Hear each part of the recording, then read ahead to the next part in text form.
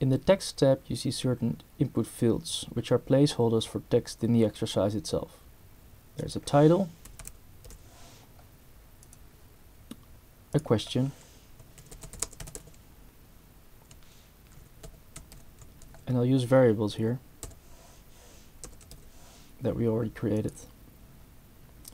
And what you see is that underneath each field after a save, it's directly previewed what the input is.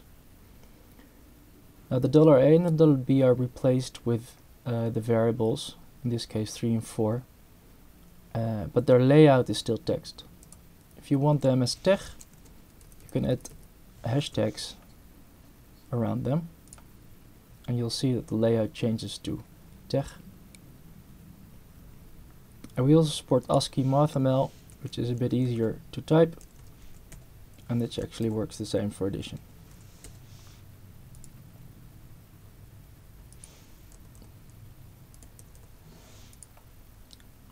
Right, so the difference between these two is that ASCII MathML uh, is a lot easier to write.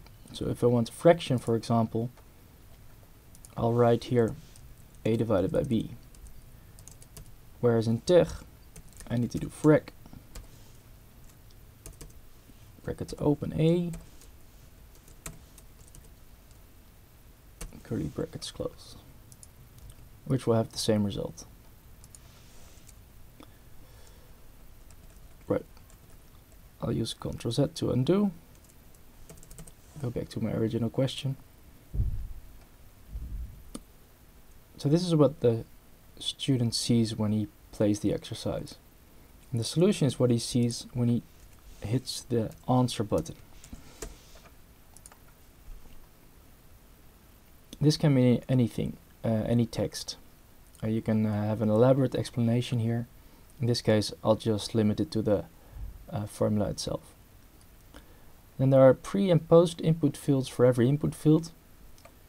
And it's just what's before and after the input field. And I'll demonstrate this exercise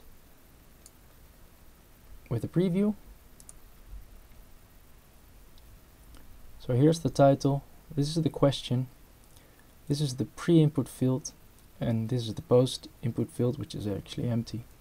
And when I hit solution I'll get the solution text